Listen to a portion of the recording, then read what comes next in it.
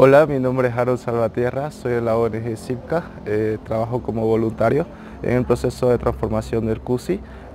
con las mujeres de Yaguarú, Asunción de Guarayo, Urubichá, Palmarito de la Frontera y bueno, trabajamos con el proceso eh, de transformación eh, extraído del CUSI, el aceite virgen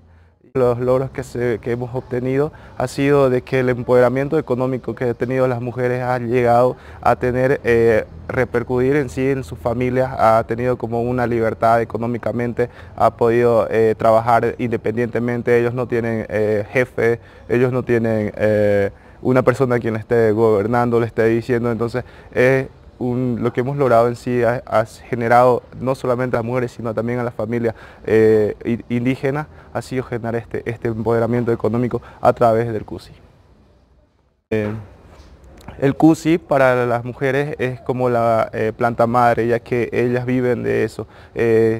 al mismo tiempo cuidan y, protegen la madre tierra, entonces ellos no, destruyen, sino al mismo tiempo solo recolectan el cusi para transformarlo y llevan así a la venta y extraído de